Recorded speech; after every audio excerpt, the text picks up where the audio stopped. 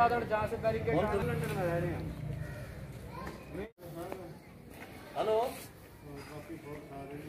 किधर साहब? बोल रहा हूँ।